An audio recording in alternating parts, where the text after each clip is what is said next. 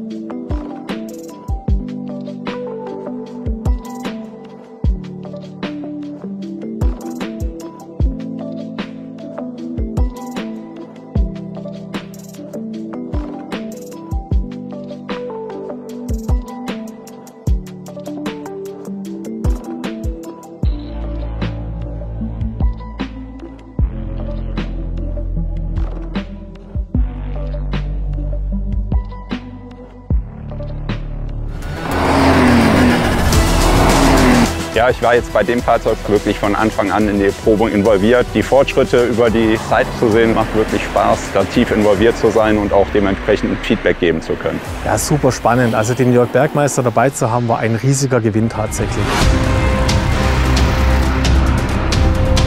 Einfach perfekt, was er uns für eine Rückmeldung gibt. Das heißt, er guckt mit einer Gesamtfahrzeugsicht aufs Auto, aber kann ganz wesentlich halt im Grenzbereich genau sagen, was muss an dem Auto noch gemacht werden, dass es für die Wunschstrecke nachher auch perfekt ist. Ja, ich bin das Auto auch ausgiebig auf der Nürburgring Nordschleife gefahren. Ähm, da auch ein extremer Performance-Vorteil. Mit der Hybridisierung ist das Ansprechverhalten fast saugerähnlich. Man geht ans Gas und es geht direkt vorwärts und das ist natürlich gerade auf der Rennstrecke immer was, was man sich als Fahrer wünscht.